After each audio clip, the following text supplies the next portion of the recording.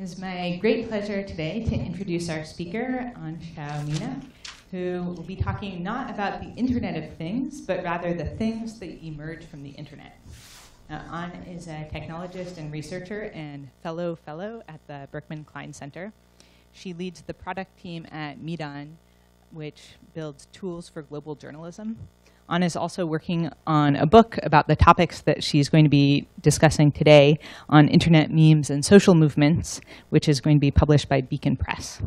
Now, I've had the opportunity to get to know An over the last year um, at the Berkman Klein Center through the hardware working group, which An and I, together with Jason Griffey, started. We also have the distinction of spanning 15 time zones, um, which is a challenge that is uh, known by all people who produce things in Shenzhen. Um, so it's our own little taste of it.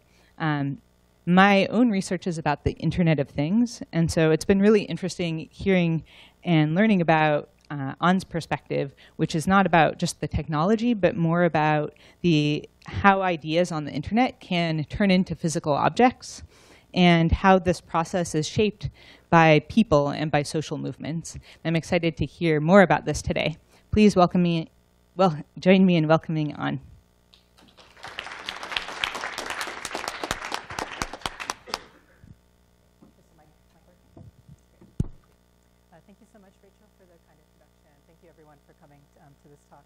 Um, I'm excited to speak here because I, I, I became, acquainted with the Berkman Klein community about four years ago when I spoke at ROFLCon um, 3 um, with Rolling on the Floor Laughing Con um, on a panel that Ethan Zuckerman hosted about um, internet meme culture globally.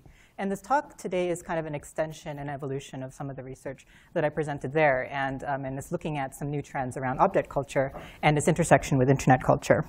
So I'm going to be talking about hats, if that's um, not obvious from this photo, but I'm also want to clarify the hats I'm wearing today, um, and the metaphorical hats.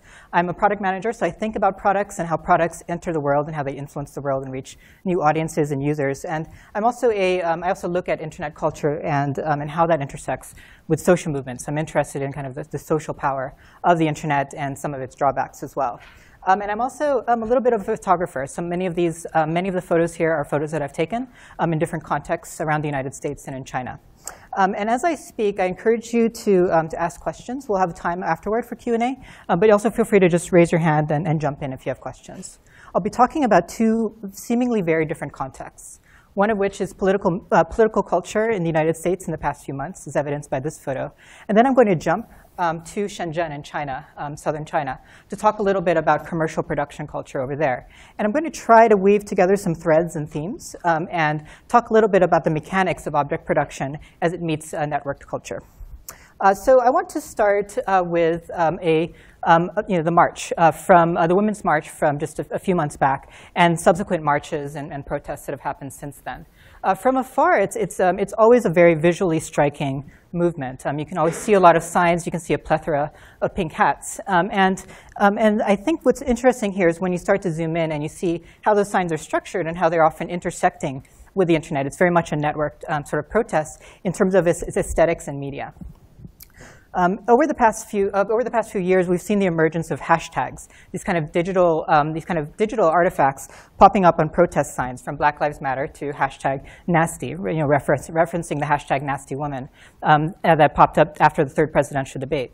Um, these hashtags are very interesting to me because it's a digital artifact that then gets expressed into the physical sign. And why people do that um, is is, an open question. It's something I'm interested in, in talking about.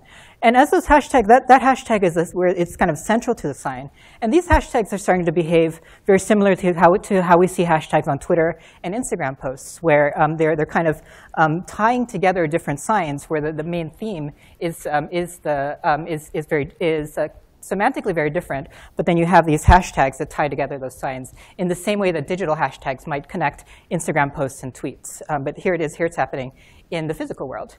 And then you have other sorts of digital artifacts popping up, specifically internet memes. Um, the nope, nope, nope octopus um, has, uh, has popped up in a number of signs uh, with these nope, nope, nope signs, so they're very common um, um, in different protests. Uh, you have the honey badger doesn't care. Um, this time the honey badger does care, and this is a printout of that same honey badger meme. Um, and then the This Is Fine dog, which became very popular in 2016, also popping up on signs. And so you're starting to see the emergence of kind of internet meme culture inside the physical signs, which are then photographed. They're, they're designed to be photographed and then pushed back online, where they, they enter the internet meme vernacular the hashtag Why I March um, was a popular hashtag during the march. And there are a lot, number of people like this woman who was encouraging people to actually uh, write on the sign why they march. And she was really riffing off the social media support kit of the Women's March, which had encouraged people to use the hashtag to indicate why they want to march. And so here again, you have a digital practice placed onto the physical sign, and then people were taking pictures of that sign, putting it back online, back on the hashtag. So it became part of the internet vernacular, even though it was happening in physical space. Let's dive, dive into one of these um, kind of viral media. Um, and this, is, uh, this was one of the more popular tweets that emerged um, after um, after the elections um, that, came from, um, from progressive circles. Um, and so this tweet from April Daniels, as you can see, got 14,000 retweets, really resonated with a lot of people. And then during the Muslim ban protests um, a few months ago, that same tweet started showing up on signs. Because it had gone so viral, it had it started to show up on different signs. And this was one that was in Los Angeles, I believe. And then it was then posted on Instagram and then once again entered the, the kind of circulation on the internet. Um, these are photographs that I took of variations of that. People were remixing that. Um, this is uh, obviously Grumpy Cat. The reason she had included Grumpy Cat was so she could have a conversation with her children without using the, uh, the you know, the, um, the, the, the, punchline for the original tweet. Um, and then, of course, the, um, uh, and then, um, then other variations where people modified that, and this is in Copley Square in Boston. And so what we're seeing today is protest signs have as their audience and source of inspiration both the physical crowd around them, um, which is where, where, traditionally protest signs have done, the wider internet, uh, you know, the internet uh, where people are looking at pictures of these signs, and then all the other protests as well. Um, and what we're seeing is an emergence of kind of a shared visual and verbal vocabulary um, of protest signs um, and other objects that pop up around national protests and, and increasingly in international protests in, in many Western contexts. And I, I included this one because this is kind of an indicator of that new relationship with the network because many signs now have um, have, have words on the back as well because there's no longer this relationship or assumption that the photographer would be in front of you, but also might be part of the crowd, and therefore taking pictures, and therefore maybe it might be posting things online. Anyone who's been to these marches knows that there are also a number of hats that have been popping up. And this was a picture I took at the Women's March, um, because it was right after Inauguration Day, of two types of hats. And it was very apparent to me when I entered um, Union Station to see pink hats and red hats. Um, and um, very much the association with these two hats was one of, um, you know, one of people going for the, coming for the Women's March and one of people coming for um, the Inauguration Day. And so um, I want to zoom in on the ones on the left first. So these are the, the pink pussy hats. This is the Pussy Hat Project. Started, um, started really the brainchild of Krista Suh in Los Angeles and, um, and became part of a project uh, with the Little Knittery in, in Los Angeles. And I'm going to ask um, if we could start passing out. I actually brought um, some of the pink pussy hats um, and start looking at them because from afar they all look very similar. You see the sea of pink heads. but in detail, they're actually quite different. And the way the project worked was, um, was the Pussy Hat project um, distributed patterns um, online um, that, that, um, that encouraged people to, to make these kind of Pussy Hat uh, designs, so these pink yarn designs. And then they prefigured that with an illustration of what that might look like at the march to really inspire people. And this, this, started, this happened about two months before the march, and when people started getting together in knitting groups, knitting circles. And instead of following the pattern word for word or, or you know, kind of script by script, um, instead, um, people made variations of that. And what I want to argue today is that part of these hats, um, these physical hats, are actually following internet meme culture and the norms of internet memes. Um, and as you look at them, um, I'll, start, um, I'll start tying that together. But take a look at some of these hats and these variations. these are all variations from DC, um, from um, uh, here's a black one with the rainbow um, with the rainbow flag. these are also from these are from Maryland. you can see on the sign different colors beyond pink. Um, and then this is, uh, this is one from Boston. This is a, a Pussy Hat um, screen prints, um, so, uh, screen prints on, uh, in Oakland. Um, so people are taking that, the basic idea, the basic kernel of it, but often remixing it. And as you're looking at these, you can see in detail that there's actually quite a bit of variation. Um, and there's a loom being passed around from uh, Berkman's own um, Carrie Anderson because she also made some as well um, and used the loom instead of, a, instead of kind of the hand knit instructions. So people often interpreted, reinterpreted the hat um, to their own skills and interests. Um, and that was kind of the point. Um, the, the point of the project was that it was networked. Um, the, um, from these are pictures from the Instagram account uh, for the women's for the Pussy Hat project, and um, the whole goal here was that uh, the, the, hats were designed so that people who could not attend physically uh, would make the hat. They would send it to someone who was able to attend. That person who attended would then take a picture of themselves with the hat and send that back to the maker. And so the whole point of this was that it was digital, it was networked, and it was participatory um, in a way that combined both the physical and the digital.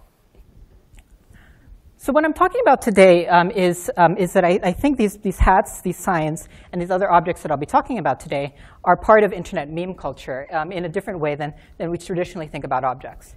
So when I talk about internet meme, I want to make a distinction between the kind of Dawkins sense of meme, which is the, um, the notion of the cultural unit, and then the kind of this notion of the internet meme. Um, Limor Shifman has written about this and helps, you helps us make a distinction between, um, between you know, the, the, word internet meme has kind of emerged in the culture of the internet as this kind of unique practice, so this thing on the internet that happens um, that's kind of diverged, um, like a meme, from the original Dawkins sense of meme. So when I'm talking about meme today, when I'm talking about memetics, I'm, I'm typically talking about internet meme memes specifically. And so Shifman's definition of memes um, is a useful one that I tend to agree with um, that helps us think a little bit about what's going on with these hats and these signs. So uh, an internet meme is a group of digital objects that share a common stance, um, form, and content. Um, and so you have this kind of shared um, uh, shared, shared characteristics. Um, and, but there's a Platonic form, but no, no one is alike. Um, they're created with awareness of each other, so this is kind of social component to it. And then they're circulated, imitated, and transformed via the internet by multiple users.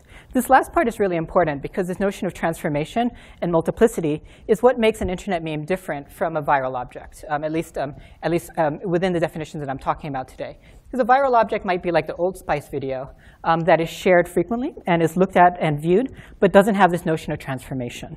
Whereas a, a, video like the Gangnam Style video, where people are dancing along, creating their own videos, is more is closer to what an internet meme is, at least in this definition. So the classic example, of course, is the kind of Nyan cat, um, where, um, and you're looking at the Nyan cat, um, it has common characteristics of form.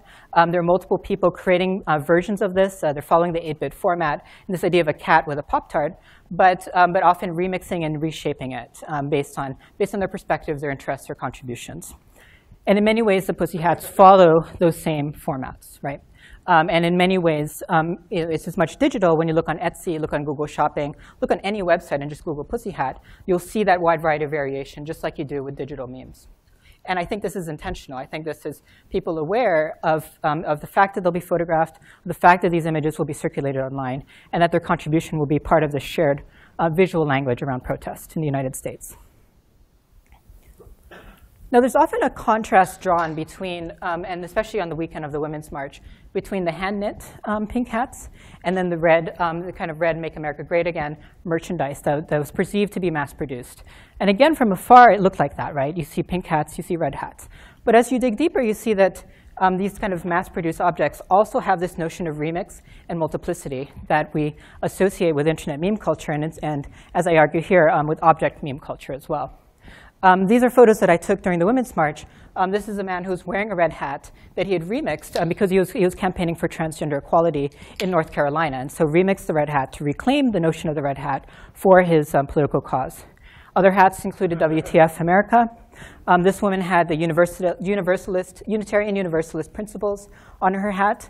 Um, our own Ethan Zuckerman made a remix. This is Make America Kind Again. And if we could start passing around the red hats, I think those are circulating now. Um, some of the red hats that I'm circulating include this one from Jeronimo Saldana, who's a activist artist who, who created all these remixes in response to, um, to key phrases and, and things that had been circulating online. Um, and, um, and you can see those hats, um, and you can see how they're made. Um, they all take the form, but then they remix it, they modify it. It's a very different process, of course, from the knitted hats, which rely on hand production. Um, and I'll walk through how those are made. But the, the spirit of this is the same, is that any, um, in, with digital objects, we're used to the idea that they never stay still. Um, and now we're, we're starting to see this with certain class of physical objects as well. And I would argue also part of the effectiveness of the hat, if you look at Jeronimo's um, profile picture, is that this becomes a political indicator, a declaration of political allegiance through selfie culture. So once again, the hat is physical, but it's also digital, in the same way that screen overlays for marriage equality um, had been a way to indicate political allegiance. You have um, now you have hats as well, and that's part of the effectiveness of the red hats. So 2016 was known as the meme election. I think a lot of people were observing this. I think I'm sure many of us were observing the, the number of memes that were popping up. And, um, but I think what was missing from this conversation was this notion that meme life cycles now include both digital objects and increasingly physical objects. And let's take a look at what I mean by that. You can see in the background some of the nasty woman mugs. Um, so remember during the third presidential debate um, when the Republican candidate said, um, called the Democratic candidate such a nasty woman. I'm sure we, many of us remember this moment. Within seconds, people responded. They created a hashtag, nasty woman, hashtag nasty, as a way of reclaiming that phrase as a, so a source of power rather than, um, rather than an insult. Within minutes of that, there were digital ones. Um, people remixed um, the Janet Jackson uh, album Nasty to include um, Hillary Clinton's face. There are comics of these. We're used to this kind of thing happening now. This is the meme election. But what was interesting to me was the product memes that popped up after that. If you search on Google Shopping for Nasty Woman pillow, Nasty Woman cloth bag, Nasty Woman hat, Nasty Woman mug, Nasty Woman pin, Nasty Woman sticker, think about any product and put Nasty Woman, you'll probably find that product. And you'll probably find endless variations of that product in much the same way that the digital memes were circulating. Those memes then, as they shipped, they became part of selfie memes. They were then, um, this is a, a fundraiser, this is a photo from a fundraiser for the Texas Democrats. And then um, they circulate, they circulate, they go back online.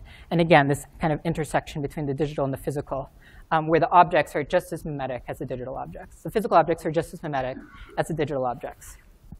And so I argue we should extend our understanding of internet memes to include physical objects as well. Um, and a certain class of physical objects are not yet nasty woman computers or cars, or maybe there are, I'm not sure. Um, but for a certain class of physical objects, you have this notion of remixing just as, almost as quickly as digital objects. None of this is a surprise or an accident. Um, since 2008, the Facebook election, the meme election has um, seen a wellspring of technological developments that have, that have made it easy for us to quickly adapt a t-shirt for any idea that we have on the internet. Um, so um, it's easy for us to slap on text, a logo, a, a, a digital meme, and put that on a t-shirt, um, indicate a price, and then um, do some fundraising around that. Um, and then you can get the matching mug as well. Um, sites like Teespring, uh, Vistaprint lets you order just one hat of a, of a kind. So if you just you really feel passionate about that hashtag, you could just get one for yourself. Um, Custom Ink, there's a, there's a hat floating around from Custom Ink, allows you to do this for all kinds of products. They really streamline that process so that, um, um, so that it's uh, much simpler to take your idea into a physical object in the same way that Photoshop has done for, for, for, um, for images. And if we follow the, the path of April Daniels' tweet, she got so much response from November um, uh, for her tweet that um, she then went on to Teespring, created a shirt using that tweet, and then created a fundraiser for the ACLU. And this is all, um, um this is all um, deliberate. Um, Walker Williams, the founder of Teespring, in an interview, noted that the, the goal here, the goal with the site, is to bring a product to market um, as quickly as possible, to take care of the production, the logistics of shipping, the logistics of printing, so that all you have to do is have the idea and so you can get it to your audience as quickly as possible. So it streamlines this process. This is why it's just as easy, almost as easy, to type a hashtag as it is to make a t-shirt with that hashtag, because you have, you have tools and processes that make that simple. So I'm going to transition now um, to China, um, and um, I want you to hold this thought about this idea of outsourcing um, a project. Um, and outsourcing um, you know, sort of the, the, tools and the ability to create complex, formally complex products, and start thinking about this in another context, in the commercial context. So I want to take you to Shenzhen. Uh, Shenzhen is a, um, is a city in a city, a small city of 12 million people um, in, um, in the Pearl River Delta. It's a, um, the, uh, if something is made in China, it's probably made in the Pearl River Delta. and if that something is hardware, it's probably made in Shenzhen. Um, this is the heart. Um, this is a, a, region of the world typically known as the factory, the world's factory, where, all, um, where the, the, stereotypes of made in China, cheap products, copycat goods, um, things like that, um, are popping up and being shipped around the world.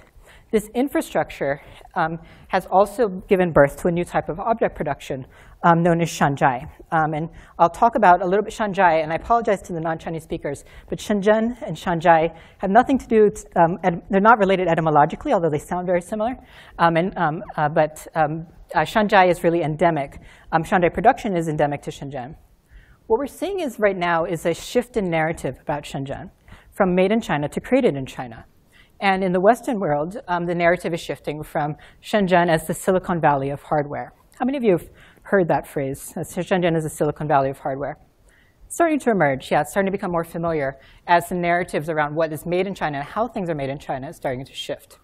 Um, but what interested me was, um, at, at, the one plant, um, I was interested in kind of Silicon Valley practices entering Shenzhen, but I was also interested in selfie sticks. Um, and I'll talk a little bit about why that is. But um, let, me, let me define Shanzhai for you really quickly.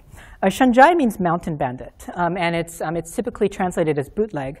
But in many cases, it's actually a form of open production um, that very much looks very similar to the hat production, to the, to the yarn production, where many, many people are producing objects um, using raw materials. Um, and so if I can ask um, if we can start passing around, passing around some of the selfie sticks. I brought, I brought a bunch of selfie sticks from Shenzhen. And again, from afar, they all look the same, but as you look closer, you start to see these characteristics, these common characteristics of form, style, stance. Um, and I'll talk a little bit about how this open, um, how this open um, excuse me, a community of production is now intersecting with the internet. Um, so for those um, who, who, don't have selfie sticks in your hands, here are some photos I've taken from around the world. Um, this is from New York. this is from Paris. sorry, it's a little dark. this is from Spain. this is, these are from China. And the selfie stick is itself an iteration. It's itself a remix of the, of the, of the, um, you know, the culture of, of producing tripods. Um, and so you remove the tripod base, and then you get a selfie stick. And so, um, so this, is, this is really the, the evolution of the selfie stick as a form of iteration. There is no one selfie stick. There is no one producer of selfie sticks. There's no one factory of selfie sticks. There's no one shipper of selfie sticks. It's, highly, it's a highly multiply produced and distributed product. And yet somehow it went global and became a global product very quickly. And there are a ton of variations. There's ones with mirrors. Yes? Um, there, there is actually, and we can talk about that actually. So um, uh, let's, uh, let's, let's, let's um, hold on to that note.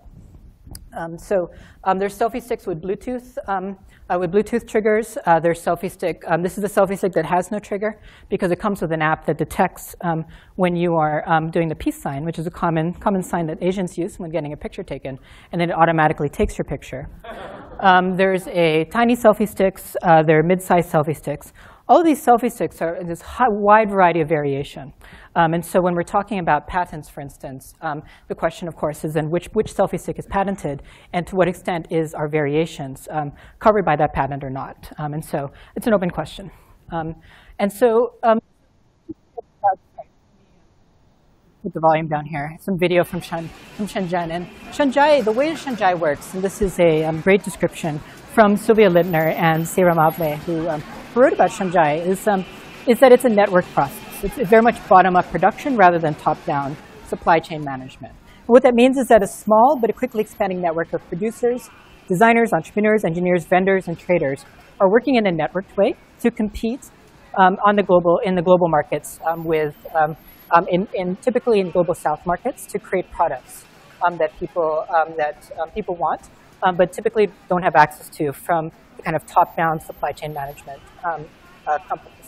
And so Shenzhen is very much a network process. Um, within Shenzhen, um, Shenzhen the city, not Shenzhen the production process, Shenzhen the city, you have um, people, you, you, have stores where you can buy the raw parts to make electronics. Um, you can also buy the electronics themselves. The Shenzhen ecosystem has created uh, miniature phones. It's created Bluetooth karaoke mics for your phone, uh, for, um, for your smartphone. And this was, these are phones that were exhibited at the V&A Museum um, exhibition in, in, the Shenzhen Biennale. Um, and these phones um, are, uh, were, again, a remix of existing phones, but with larger buttons, so that um, el um, elderly people who, or people with visual impairments could actually read, read the buttons. And so our narratives about, um, about the products that come out of Shenzhen as copycats really needs to shift to start thinking about this notion of remix that there's a base product um, that people are often riffing off of, um, and, then, um, and then making variations that didn't exist before. Yes? you put your own brand on that and, and yeah, sell it. That's right. So that's a great that's a great point. So what we're seeing here is an example of white label production. Um, so um, in that notion of brand, it's, it's very similar to the hats actually um, where you can order these phones um, online um, and then place, um, place a brand or a brand identity that, um, or a logo similar to the hats and how the hats work. and so, so, so these adaptations are very much, very much designed for people to come from the internet to say, OK, I want these sort of phones. I'm going to put, I'm going to slap a logo on it and then create that. And so it's, it's a good example of white label production as well. So the way Shanzhai works um, is very similar to how digital content works. And if, if anyone's ever tested headlines um, for journalism articles, in, in, journalism, people will often test 10 different headlines. They'll throw them all out, see which ones get resonance, and then pick the one that gets the most likes and clicks, and then amplify that one. Shanzhai works in a very similar way to digital content in that regard. Products are market tested directly by throwing small batches of several thousand pieces into the market. Um, you know, some of the, you know, you can imagine the first selfie sticks, people weren't sure if those would actually reach market saturation or market interest. And so they would just throw out a few hundred and see what happened, um, and then um, see if people responded and wanted to buy some. And then here, it's actually a very different process from how Silicon Valley typically works. Here, prototyping and consumer testing occur rapidly and alongside the manufacturing iteration process. So as you're throwing things out, as with those headlines, um, as with digital content, you're also getting feedback immediately from buyers. Um, and so that's how Shanzhai works. It's very much in this kind of open system. And it's already, um, this was, you know, this was really before the internet started to take hold in China. And so as the internet is, is uh, connecting with, with this kind of open network system, uh, we're starting to see um, that the internet is um, in many different ways is shortening production time. Um, I did a workshop with uh, Sam Hu at the Shenzhen Open Innovation Lab, which was uh, founded by David Li, who's a, um, a friend of Berkman and, um, and an advisor at the, at the Digital Asia Hub. And there they're really you know, studying different styles of open innovation that look different um, from, uh, from our typical definitions in the West about what innovation looks like. And, those, um, and, then, and, um, and so Sam was really arguing, as we did this workshop, is, um, is that the internet is shortening production time. Typically in Shenzhen, um, with the Shanzhai ecosystem, a phone can be built in 26, um, in, in uh, 26 days. Um, a new phone can be built, a new phone can be built in 26 days. And Sam was arguing that that um, can be dramatically shortened um, to sometimes as short as two weeks, but prob probably a little bit longer than that. Uh, but in any case, um, we're seeing increases in efficiency. And um, to break that down a little bit, these are a few examples of what that might look like. Um, so WeChat, how many of you are familiar with WeChat? Chinese language social network kind of resembles um, WhatsApp or Facebook. Um, it's allowed for people to directly communicate with their factory, regardless of where they are. Um, importantly, it's allowed for user feedback loops so that users can um, users of selfie sticks or other products can have direct interaction and contributions with the designers and makers. Um, so you have a tighter feedback loop so people can make those quick iterations that I was just talking about. You have direct sales and e-payment, and e-payment is really important because it means you don't even have to leave your house to buy a new product. Taobao is, um, is another site. How many of you are familiar with Taobao? Um, it's kind of an eBay-like platform, yep. Um, so Taobao has crowdfunding as well. So um, similar to those Teespring hats that I was sharing, uh, where you can test an idea, see how many people buy it before you make a production line. Um, this allows for crowdfunding of different, of different products. It's also direct sales, and Taobao um, really taps into the Shanzhai ecosystem because it provides data um, for the things that you're selling so that you can respond just like headlines to the ones that are trending um, and quickly spin up new production lines. Alibaba Express um, is, um, is handles shipping logistics, so the, the, the, uh, the, the, difficulty of moving atoms across countries um, becomes streamlined.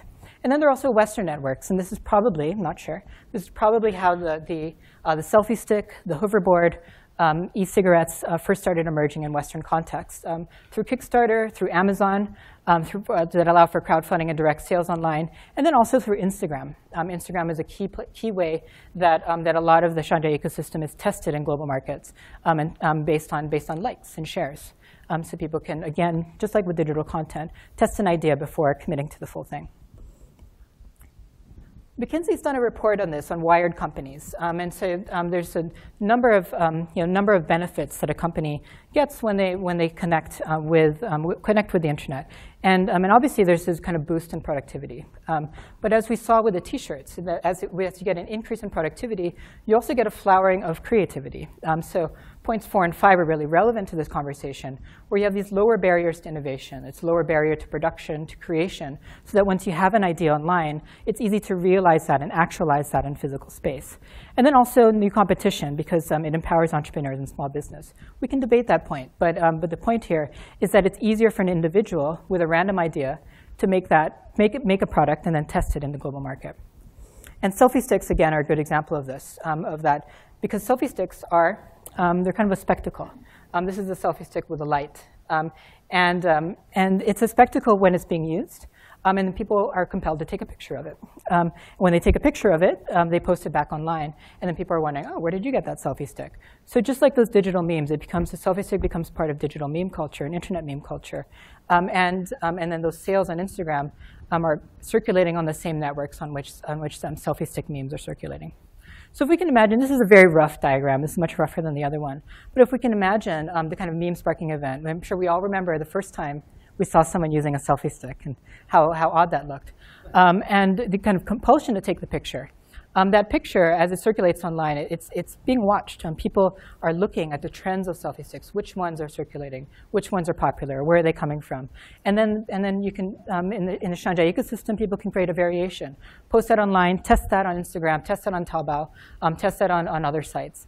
And then, um, and then get feedback from their users. Um, and then, and, and oftentimes they often bypass the physical markets. They just rely on the internet as a means of distribution. And so the, the, object, the object distribution um, is looking just as mimetic as kind of the, the way that the digital representations of those objects are spreading. Um, and, then, um, and then finally, um, if it goes into the physical markets, it's often reached a certain scale. Um, and so at that point, um, it becomes like the selfie stick, a global product that you can now find in pretty much every major tourist site around the world. So memes, um, internet memes are interesting just as a cultural practice, um, and, they kind of feed into the kind of human interest in remixing and riffing.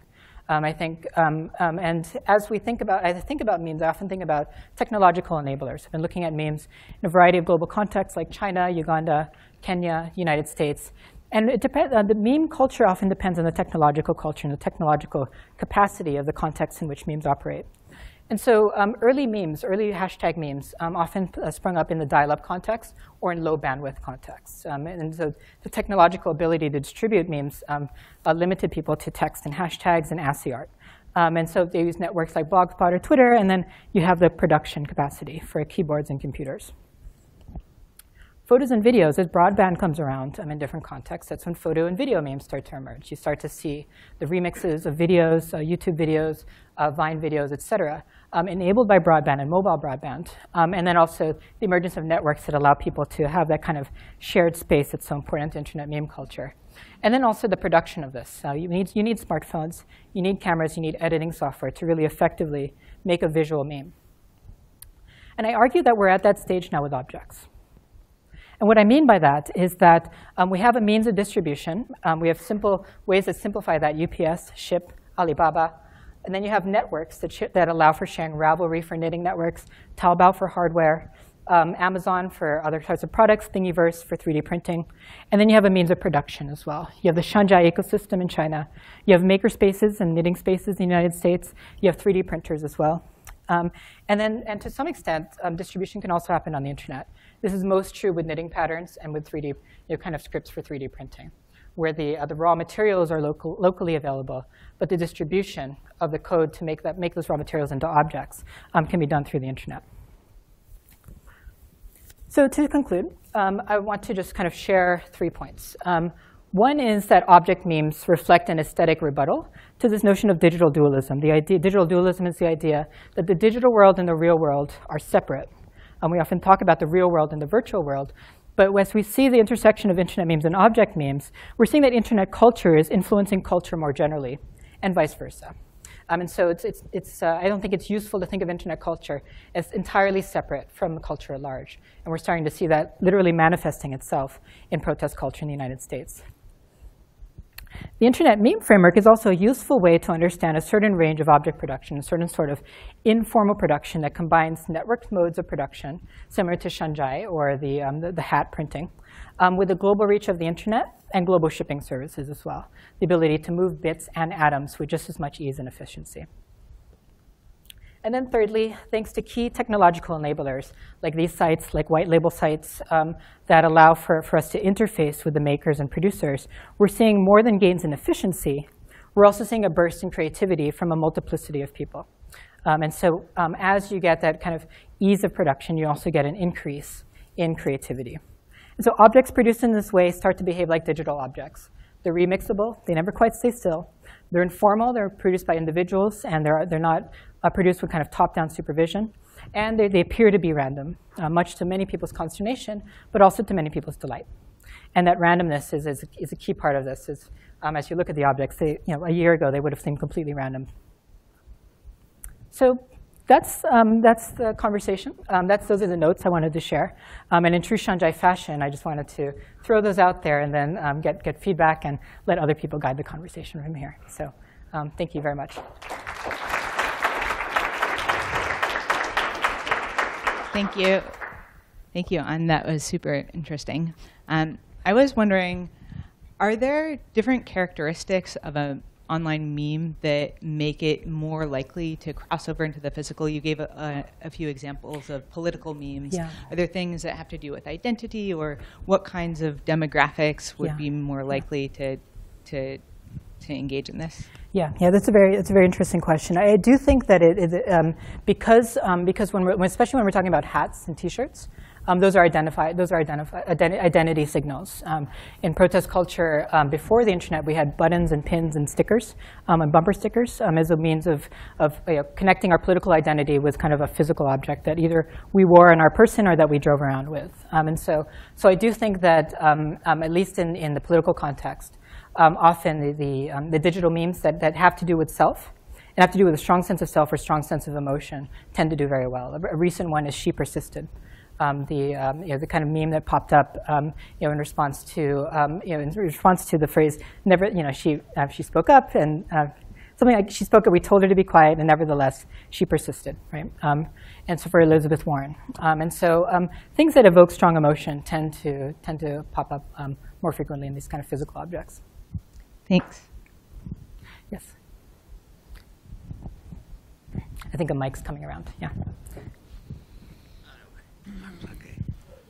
There's something very attractive about the production model that you showed in China by, I recall hearing about one of its disadvantages about a year ago, which is remember the exploding hoverboards? Yes, absolutely. And it sounds like they came from a system like this where there were many different manufacturers. Yeah. They were they were weakly branded or unbranded, and it was really impossible for anybody, whether you were you know an airline or a store that wanted to sell them or a consumer or Consumer Reports magazine, nobody could really tell what were the safe models and which weren't because the branding was so weak and the production was so distributed. Um, what are your thoughts on that? Sure, absolutely. I think that's absolutely right. I think I completely agree. Um, and I think this is why I, I often reference digital meme culture, because digital meme culture, as we know now, is not always rosy. Um, there's a lot of fake digital, meme, digital memes floating around. There's a lot of unregulated memes. Uh, we don't know if it's what's real or fake. Um, yeah.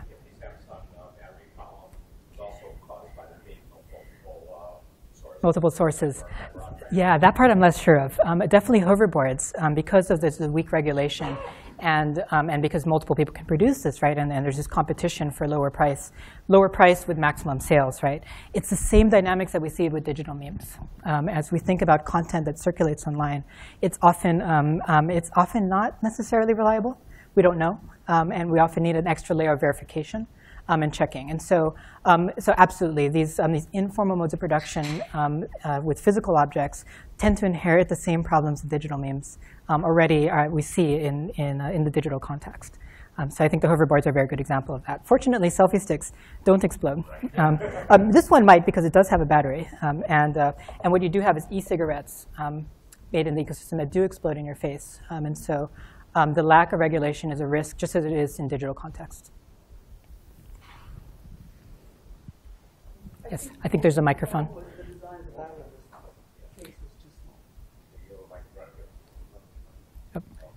Oh, I think the problem with the phone was the design of the battery case had somehow been rounded, and it was smaller than spec, so any battery would have been bad. Okay, okay.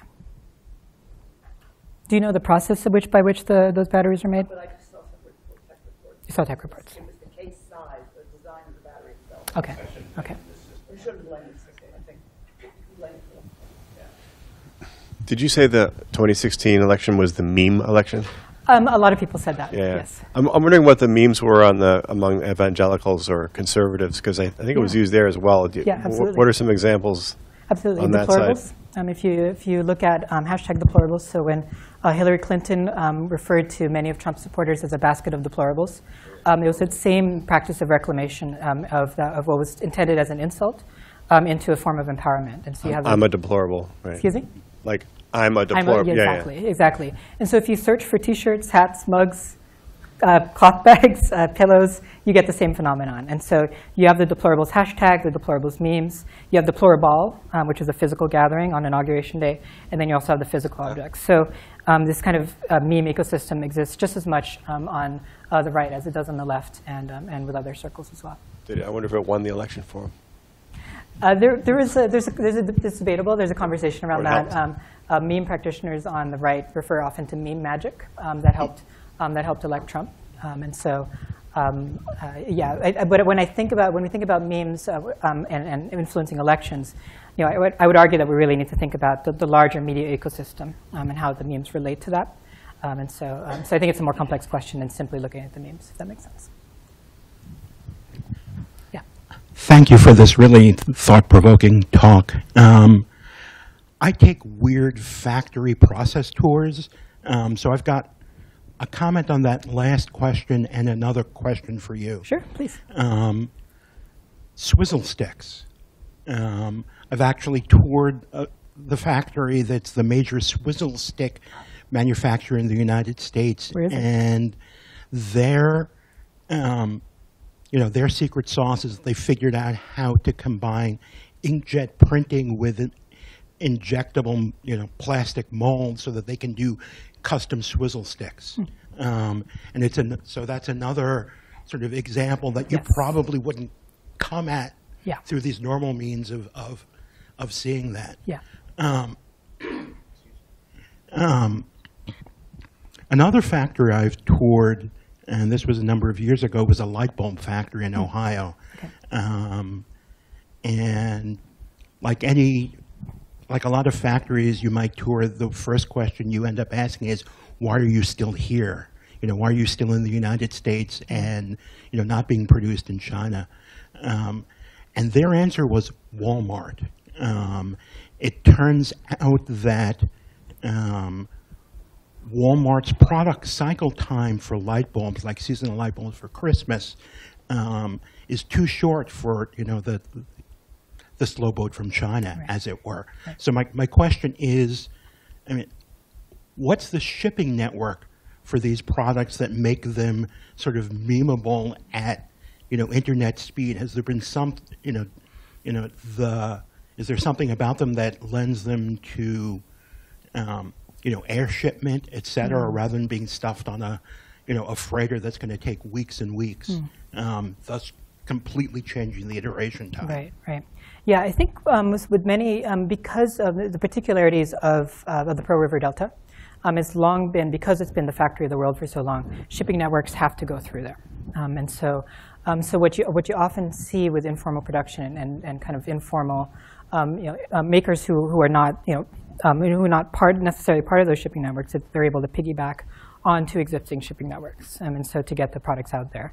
Um, it's not particularly fast, um, but it's much faster than before because uh, because of those efficiencies. Um, and so, um, um, and then um, what sometimes happens, and this is this is this is more on the speculative side, but what I've, what I've been uh, talking about with with people who who do the kind of global distribution of some of these informal objects is that is that the one they'll test it on Instagram, right, and then they'll actually fly someone over, um, someone who might be flying back to whatever context it is, to then start showing them around um, and put them in a shop, see if people buy that. Um, and so that, that's one way that people skim over. But there is still, of course, a limitation around the, the, the, the shipping. Um, something that's important here is also the logistics of shipping, which is customs, packaging, things like that. Um, and that's part of what makes things faster is that you have infrastructure that makes it much simpler to do that. And I think an American analog is a product called Shyp, S-H-Y-P. Are are people familiar with Shyp? Um, Shyp is allows you to just take a picture of an object, um, and then someone will just show up, pick it up, uh, package it, and ship it for you. Um, very, very easy, right? So um, the, the ability to move the object is still bound by, uh, by geography and laws of physics, um, but all the other logistics are streamlined substantially by services. So. Great.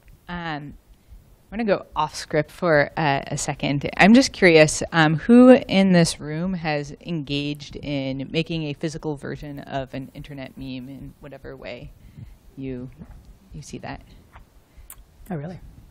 So I was also curious about like demographics Yeah. of who who's most engaged in this, and also Yeah. is this mobilizing communities uh, or demographics that wouldn't ordinarily be engaged in internet memes?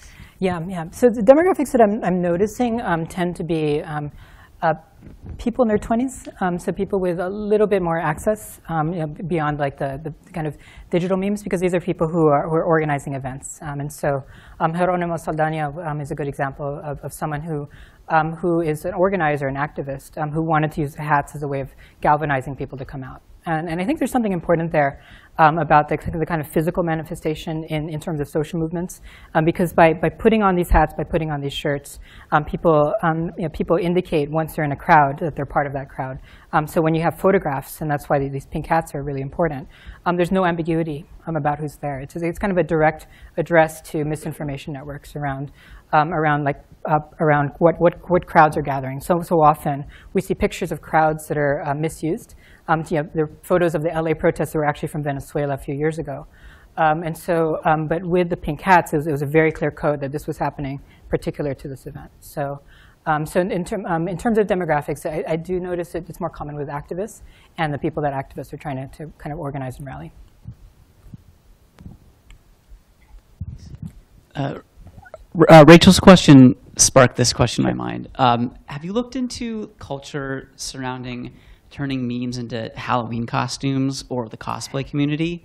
Yes. Um, yeah, I haven't looked formally, um, but there, there, um, there's an annual gathering in New York called Halloween um, uh, for Halloween where people dress up as memes. Um, and so I think looking at creative communities like cosplay, like even street art, um, uh, those, these kind of creative communities, um, you know, long before these object cultures that I just referenced, use the internet as part of their sharing and their, their kind of inspiration.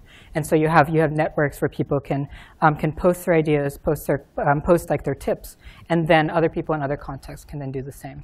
And so what's, what's interesting about looking at this in protest culture is seeing how that, again, establishes kind of visual and verbal vocabulary that makes a protest in Chicago, in Seattle, um, in, in San Francisco, in New York, all kind of feel the same um, in terms of the media objects. Um, but I think you have the same phenomenon with other creative communities. Um, knitting, certainly long before the Pussy Hats, um, was, um, was very important. It was very important that it was also a networked community as much as it is physical. So, yeah. Yes. Yes, uh, I don't know how relevant this is to what you were talking about, but uh, my favorite cap was uh, from Norway, and uh, it was mostly red and it had a white and blue stripe, but people kept stopping me on the street and uh, wanting to know if I was a Trump supporter. Finally, my wife said, you know, wearing that cabbage is not a good idea. Yeah. So I think I think what, you know that's a, that's an interesting example of how symbologies can be transformed, the kind of the hegemonic meaning of a symbol, like a like a baseball cap and a red baseball cap, um, that you know at once you know before might not have meant anything in particular. It might have signaled allegiance to a sports team, um, but that uh, that can then be um, can then um, have its meaning overtaken by a larger kind of a larger um, collective of people who agree to to a certain meaning of that symbol. Um, and, and I think that's why it's so important to also understand the kind of remix cultures that emerge out of that. Um, because what people are doing is responding to that hegemonic symboli symbology of, um, of the red hat and trying to transform it into another sort of meaning. Um, and so you have the Make America Mexico Again hats. You have um, um, Jose Antonio Vargas, who's an immigrant rights activist, created a Immigrants Make America Great red hat, and that's on his Twitter handle. and so the, these attempts to, to reshape the symbology um, are, should be seen as activist, um, activist actions that, that, um, that try to change the meaning of these things. And whether or not that's successful is a different, a different debate.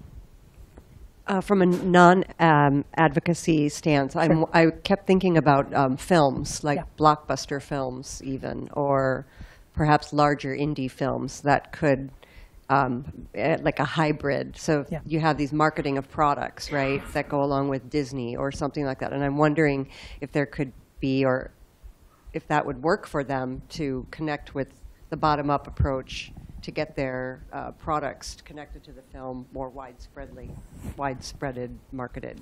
Absolutely. Um, there's a different talk I could give that would be for marketers. Um, that would be basically, basically the same slides, but with different talking points. I think um, when we're talking about um, marketing and, and film distribution, um, you know, when, when people listen in on hashtags or on, on trending memes about any given um, kind of um, any given movie, um, they're also listening for how the audience is responding to that, right? Um, and um, and I'm, I'm, i can think of one example that's not quite a film, but is, is kind of related, is uh, Lego. Um, Lego had, you know, for the long time, longest time, distributed instructions for how to use Lego. and they noticed that people were um, we're sharing tips on how to make other kind of Lego products, um, you know, uh, make other kind of Lego combinations. And um, there, for a while, there's a little resistance, but um, but uh, pretty soon they embraced that kind of bottom-up production and then created Lego communities so that people could um, could share that. So, um, so absolutely, I think there's a lot of value for for marketers or people who are trying to promote a brand um, to to think about this, um, you know, beyond the social movement context. Um, and and you know, I'm pretty sure I can find an example of a branded selfie stick or a branded hat that, that kind of dips into this. But no, no, no specific examples come to mind right now. Yes, I think it was the mic. I just wanted to reintroduce a question that got asked earlier and you put off, which was about Yeah. the patents and selfie sticks. Yeah, yeah, absolutely. So the, the interest, the history of patents of selfie sticks is actually very interesting. Um, uh, the, the first patent that I'm aware of was um, was by a, uh, a Japanese man. Um, um, I'm going to misquote this, so I'm going to spread misinformation, but it's um, I think in the 70s. Um, who um, who had created a, a kind of selfie stick-like device um, that wasn't quite ready for the market because you didn't have smartphones. Um, and then you see selfie sticks in Chindogu, which is a, a Japanese art of, of, creating useless inventions. Um, and I think that was in the yeah, that was in the 80s. Um, and so at, back then, it was deemed as a useless invention. But again, because the cameras hadn't caught up, the networks hadn't caught up. Um, and then there's, a, I believe he's Canadian, um, created another patent for a selfie stick. Um, but and thinking about patent law is a little outside my my. Excuse me. Um, many of them, yeah, I believe so. Um, but also there's this question, and a patent lawyer would have to comment on this. Given the variation of selfie sticks that you've seen, um, does the patent cover all those variations? Because again, when we look from afar, it always looks like there's one selfie stick, but when you actually go into depth into what's happening in Shenzhen, um, there's actually a wide variety of variation. Um, and the, the, original patents probably look very different from, um, from this one with the light, for instance.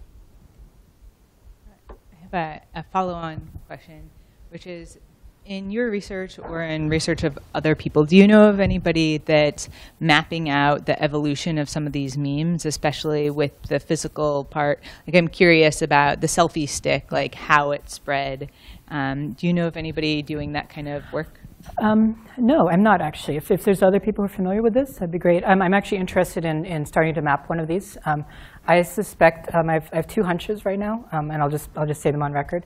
Is um, that the karaoke mic for smartphones, and also certain types of Bluetooth headphones might be the next kind of thing that, that kind of that kind of percolates in global markets. and so I'd be really interested in working with someone to track that. Um, the logistics of that are very difficult because you need people who can work, go to factories, visit them, um, see how those are made, and then track that online, and then start tracking the global distribution.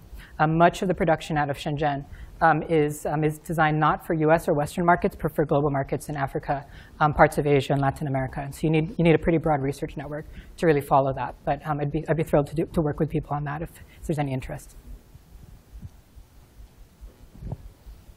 I have a question about language. Sure. Because in, in 18, in the 1800s, uh, studies of the demographic transition showed that patterns of changing fertility went by language groups, very fine language group divisions. And I wondered if anyone's looked at the role of language, especially in non in Africa or in places where there's a wide variety of languages and pretty low bandwidth. That's very, yeah, that's, that's another core interest of mine is actually language barriers on the internet and how that, um, how, um, how language barriers exacerbate existing inequalities. Um, and so um, there's actually a big challenge with uh, Shanzhai makers. Um, uh, most of them only speak Chinese, obviously. Um, and, and if they do speak English, it's, it's, it's not necessarily vernacular or fluent English. Um, and so there's a strong interest from, from Shanzhai communities. Um, they can make things, but it's very hard for them to, to kind of market it um, and get it out there to the broader world, it, just in English, English alone. Um, and so, um, uh, so a lot of Shanzhai makers will just make something, but it won't necessarily see the light of day um, because, because you kind of have that gap from production to distribution and marketing. Um, and so, um, so certainly um, in other contexts we can extrapolate. I don't have specific examples, but everything I've looked at have been typically majority languages of a given country. Um, so it might be English, Spanish, Indonesian, but not the indigenous languages or local languages. Um, and so, um, um, on the other hand, um, because um, because these are physical objects, because um, because digital meme culture is often language agnostic, um, uh, these things tend to spread regardless. Um, and so, um, uh, but uh, yeah, that's largely speculation. I haven't uh, dived into that specifically. Well, Uh, during your talk, you spoke briefly about how uh, companies use Instagram to market their products. Can you speak a little bit more about Sure, that? Absolutely, yeah. So, um, so the way that an Instagram marketing might work is, um, is a company, um, and typically these are small shops um, who have a physical stall. Um, so this is an extension of the idea of, of, of physical stalls, and which is very common in China, um, where a small individual will have like a small shop with like their their um, their products. Um, but to extend their network, they'll often use a place like Instagram or WeChat um, to market specific products they have, and then test that with likes um, and see if people are interested in principle to the idea. So this becomes a low-cost way to test it. Very similar, and again, I, I use this um, analogy of headline testing for news for newspapers, um, for online newspapers, because it's, it's a very similar process to that, where um, you know, with newspapers they'll test 10 different headlines and they'll see which one really percolates, um, and it's very similar to that with Instagram. And the, the Instagram strategy um, is, is very common in the global south.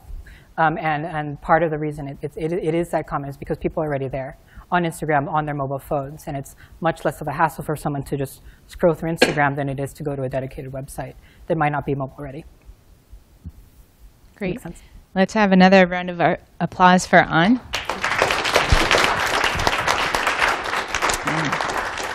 Thank you. Thank you.